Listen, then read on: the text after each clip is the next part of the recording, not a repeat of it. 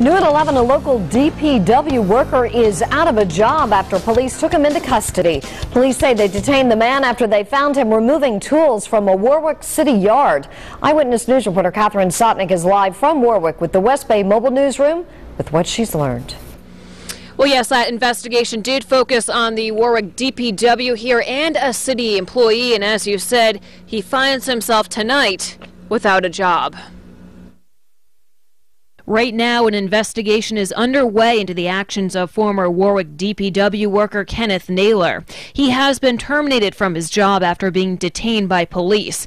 Eyewitness News did obtain a copy of that police report, including these pictures of the tools and equipment that police say Naylor had in his truck and had removed from the DPW yard. A chainsaw, a filled five gallon gas can, a toolbox filled with tools, even cast iron fire extinguisher fittings, among other things. According to the police report, Naylor told the officer that he was working on cleaning up his yard and that he would use those tools and the gas for completing the yard work at his and a neighbor's house because he was planning on calling in sick. It also says Naylor told him the cast iron piping would be used to secure his sinking deck and spa.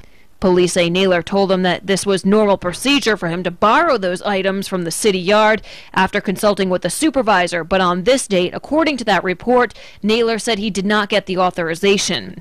The police chief tells us he did want to file charges against Naylor, but that no charges have been filed because the chief says he couldn't get a statement from the DPW director saying that Naylor did anything wrong, but the case is not over. In a statement, the mayor's office tells us, quote, the incident was reviewed by Warwick PD and has been forwarded to the Kent County Attorney General's office for further review. Based on the city's own internal review of the incident, additional information has come to light and it was determined that termination of the employee was appropriate. The mayor's office also tells us the practice of allowing employees to borrow small tools has been rescinded immediately. And I did contact Naylor at his West Warwick home tonight by phone. He tells me all of this has been an emotional roller coaster, and he says at this point he has no other comment.